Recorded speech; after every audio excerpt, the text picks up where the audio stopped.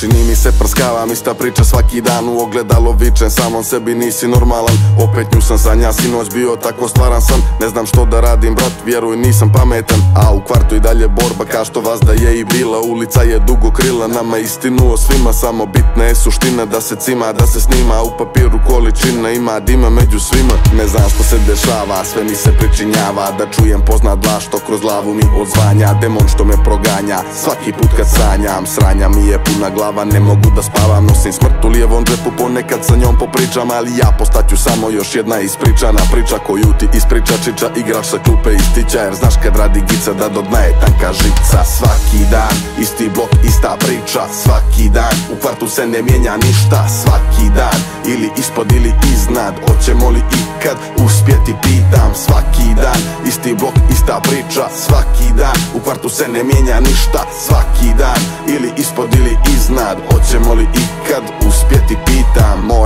Moram da razbistrim i očistim glavu. Po kvartu stalno visim stvorim šljaku iskoristim u posljednje vrijeme. Svaki dan je isti zato probaj da zamisliš kada slikam ti po platnu bratu. U kraju sve je isto samo tu nam nema kuma. Pričam sad će drugi album još od prvog albuma. Skreni s puta priča crna Glava mi je puna, a ova betonska džungla jede ljude kao najmračnija šuma. Radim šljaku, brate, nebitna je suma. Onda ti skrenem sa uma jer je svima loša gluma, brate. Ekipa budna, pa nemoj da neko luta. Ne valja ti priča skupa ako nam je puna klupa, brate. I spreman sam da uđem, rep je umro, ne spašavam. Sve je manje pravi glava, sve je manje priča prava I sve je do para, repujem i cente nemam U blok me možeš naći, stalno cimam, stalno šemam. Svaki dan, isti blok, ista priča Svaki dan, u kvartu se ne mijenja ništa svaki dan Ili ispod ili iznad. Hoćemo li ikad uspjeti pitam Svaki dan? Isti blok ista priča Svaki dan. U kvartu se ne mijenja ništa Svaki dan ili ispod ili iznad. Hoćemo li ikad